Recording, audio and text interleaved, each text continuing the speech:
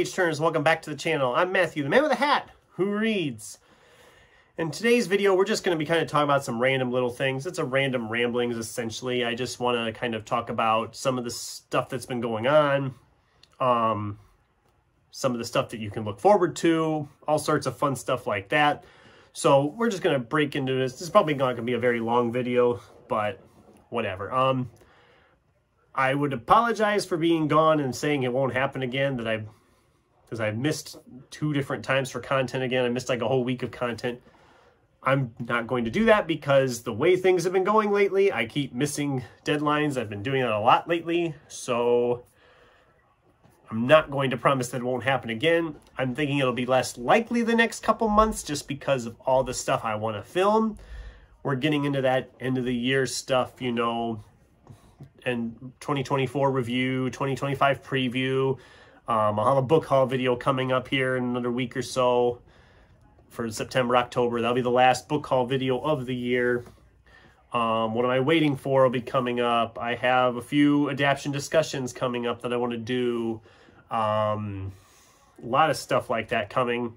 Um, it's going to be a good selection of videos coming up. We got good stuff on the way.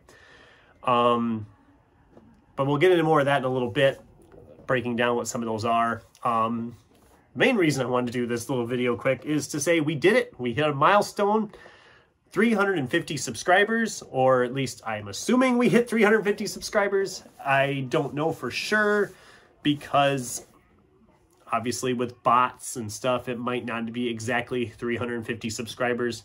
According to YouTube, we're currently sitting at 352. So I'm guessing a few of those will disappear because they usually do. Um, and I'm just so happy. I never expected the channel to grow like that. That's so cool that people are like, yeah, I'll subscribe to this guy. I love that. That is so awesome. Um, so originally the plan was to do a live stream or live or whatever you want to call it when I hit 350 subscribers. Now I'm still planning to do that. I don't know when I'm going to do that yet. I haven't figured that out yet. I haven't figured out logistics on how to do that yet.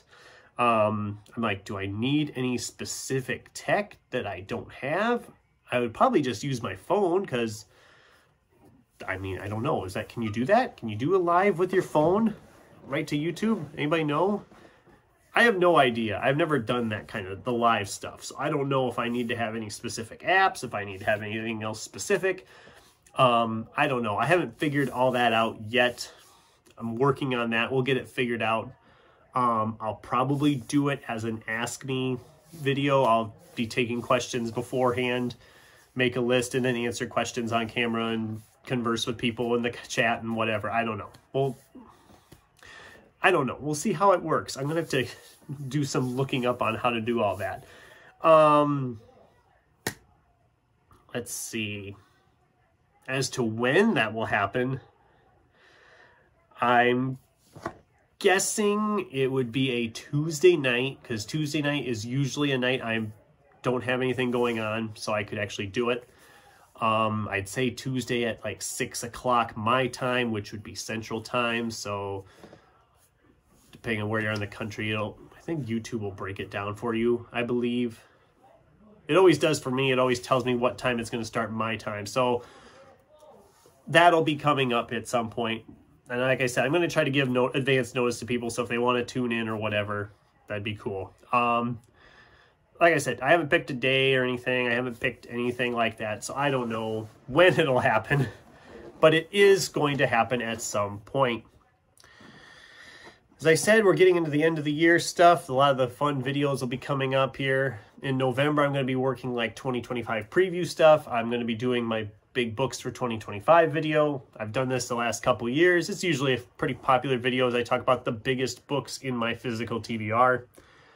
Um, and I'm also going to be finishing up and finalizing my list of books I want to reread in 2025 and posting that video because that is always, it's always fun to plan that ahead. Last year's 2024 rereads video, I've read pretty much everything from that video except one book that I'm hoping to squeeze in yet before the end of the year and that's A Monster Calls by Patrick Ness. I wanted to reread that and then rewatch the movie so I can do like a very fair adaptation discussion with it all fresh because I remember really liking the book and I remember really liking the movie. I cried during the movie and I didn't expect to cry. I usually don't cry in a movie. And that's, yeah, that movie got me really, really hard. Um, and then, of course, December, we'll get into 2024 surprises, 2024 disappointments, best fiction 2024, best nonfiction 2024, all that good stuff. Um, the be- top 10 fiction of 2024 is going to be a fun video to do and a challenging one because I have had so many five star books I've just loved this year. I don't know how I'm going to narrow it down to 10, and I don't know how I'm going to rank those 10. Just sitting here thinking off the top of my head, I have like three or four books I could put at number one. And I just don't know how I'm going to do that. It's going to be a very interesting, interesting time to make that list. Um, yeah, that's going to be a really challenging list to make. Um, and just a heads up, because I know some people will expect a specific book in the top five disappointments video for 2024 when that comes out. I'm just going to say right now, no, the coil will not be in that list because I had little expecta no expectations going in. So I can't say it let me down. I can just say it was a terrible book and be done with it. So don't expect that book to be in the disappointments video. Because it's not going to be there. At least not in the ranking. Maybe I'll maybe I'll make it a dishonorable mention or something because that book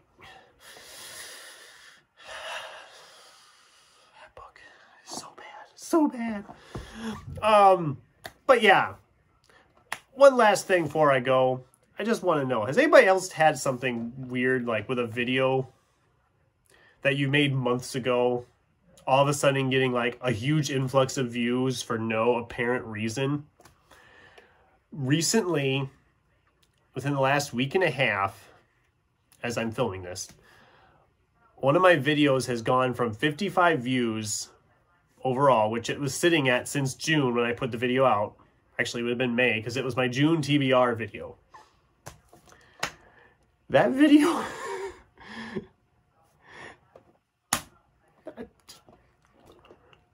it's freaking gone up by like 30, 40 views over the last week and a half. And I don't know why. It's my June TBR for crying out loud. It's...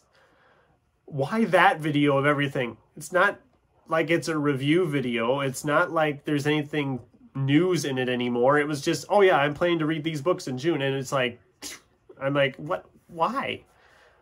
I mean, I think I even got a couple of subscribers recently out of it.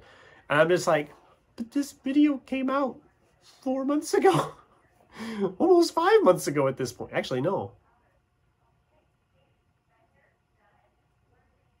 Yeah, almost five months ago at this point. And it's like,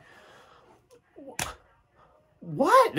Why? I just, has that been happening to anybody else? Is it like a weird bot thing where bots are apparently watching these videos all of a sudden and giving them this huge boost? I mean, it's not like some of the other videos I expect it to grow on, reviews to go, videos to go up on randomly. It's just a weird video to be all of a sudden picking up views. But anyway, I'll leave you with that. That's all I have. So what do you guys think? Are you excited for any of these plans I've talked about? What are you looking forward to? Is there anything I should be trying to still plan and squeeze in for the rest of the year? I'd love to hear from you in the comments down below. Thanks for watching, and until next time, keep turning pages.